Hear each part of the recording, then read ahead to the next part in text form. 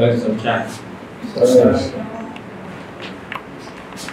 Tunamshukuru Mwenyezi Mungu kupata fursa tena hii ya mchana wa leo kuja na wadau wengine kama ambavyo tumeongea mara kwa mara kwamba mojawapo ya vipaumbele vyetu kuhakikisha kwamba angalau tunashirikiana na wadau mbalimbali ambao tutasaidiana katika kuhakikisha kwamba angalau tunafikia yale malengo yetu ya mpira wa miguu.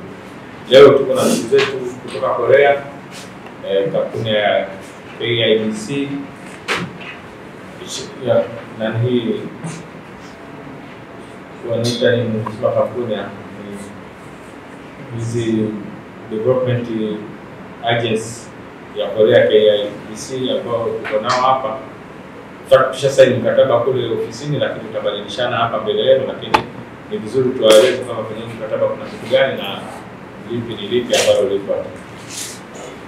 Lengo kuu la makubaliano haya ni mashirikiano kati ya TFF na KIDC, Korea International Development Cooperative Center na Hong Yang BO Foundation katika kuhakikisha inaendeleza maendeleo ya soka la vijana nchini hususani katika soka la wanawake. Ni vijana lakini vijana wa kike. Makubaliano haya tunaingia leo hii yatakuwa ni ya miaka miwili ambapo KDC mpaka kufikia mwezi huu Disemba itakuwa imeleta wataalamu wapatao thelathini kwa ajili ya kuendeleza programu hiyo. Programu hiyo inatarajiwa kuanza katika shule za sekondari za mkoa wa Dar es Salaam za wanawake ambazo ni Fountain Gate Academy, Chang'ombe, Jangwani, Kibasila, Benjamin Mkapa kwa kipindi cha mwaka mmoja, baadaye itaendelea katika mikoa mingine. Katika shule hizi kutakuwa na makocha watatu ambao watakuwa wanatoa mafunzo katika programu hii. Katika makubaliano hayo KIDC watasimamia miradi watasimamia mradi huu kwa asilimia kubwa ikiwemo bajeti, ushauri na usimamizi wa mradi. Tunatarajia programu hii ambayo inadhaminiwa na KOIKA na kuendeshwa na KIDC itatoa wigo mpana kwa wanafunzi wa kike kuweza kushiriki kamilifu katika soka la wanawake. Pia TFF itafaidika na kupata wataalamu watatu ambao watakuwa wanafanya kazi TFF kwa muda wa kipindi cha mwaka mmoja, ambapo idara ya habari watakuwa na wawili na fundi atakuwepo mmoja. Hivi ndio ambavyo vitafanyika, na kama sisi kwa hali halisi na bajeti zetu ndogo, kwa hiyo tumepata wenzetu hao ambao watakwenda, tutaanza kwa hizi Wasiseme kwa nini Dar es Salaam na kwa nini shule hizi. Kuna utaratibu umefanyika jinsi ya kuzipata hizi shule mpaka zimepatikana, ni kwamba pia na wenyewe viongozi wa shule, lakini na halmashauri husika na idara ile husika, imeonekana kwamba kutakuwa na ukubali wa kuweza kufanya hizi project. Kwa hiyo hapa pia mnaona na mdau kama serikali atakuwepo moja kwa moja.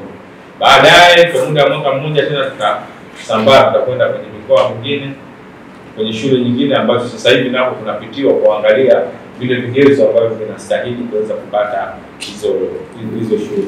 Lakini kama mnavyojua, msisitizo wetu mkubwa kwenye soka la vijana, hasa akina mama, na tumesema kabisa wakina mama ndio ambao tunahisi kabisa kwa uharaka kabisa tunaona kwamba wataweza kutufikisha kwenye yale malengo ambayo tunahitaji, na mpango wetu mkubwa ni kwamba angalau World Cup yoyote inayokuja ya kina mama iliyoko mbele yetu, Mwenyezi Mungu akijalia, hasa under 17 na under 20, tunataka angalau kuwemo kule. Kwa hiyo vyote hivi ni mipango hiyo ya kuweza kutupeleka kule. Nawashukuru ndugu zetu hapa, ndugu yangu mwakilishi pamoja na bwana Kimu ambaye tutakuwa naye hapa kwa muda wote.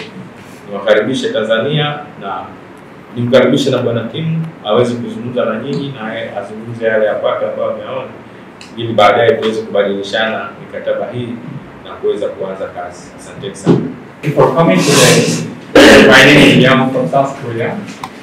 I'm so hungry now, so I will make my speech long. Don't worry about it.